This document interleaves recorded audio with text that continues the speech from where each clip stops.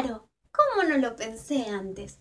La multiplicación es cuando sumamos un mismo número más de una vez. En este caso, 100. Entonces tenemos que hacer 100 por las veces que lo quiero sumar.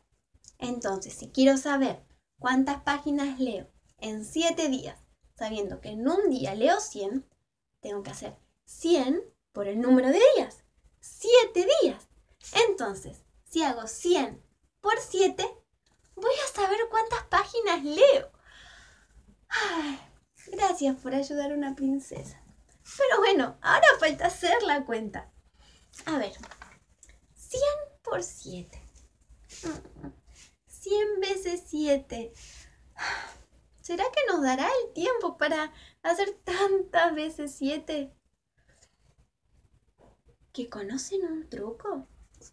¿De qué se trata ese truco? Entonces, cuando multiplico por 100, tengo que agregarle dos ceros al número por el que lo estoy multiplicando.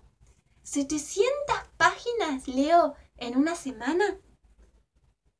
¡Wow, chicos! ¡Qué fácil es entonces! Porque claro, el 100 tiene dos ceros. Es 1, 0, 0. Entonces, si yo multiplico algo por 100, tengo que agregarle a ese número esos dos ceros. Entonces, si yo tengo el 7, le agrego dos ceros. 700.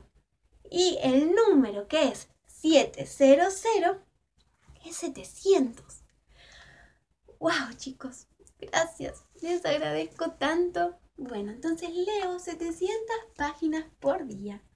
¡Wow!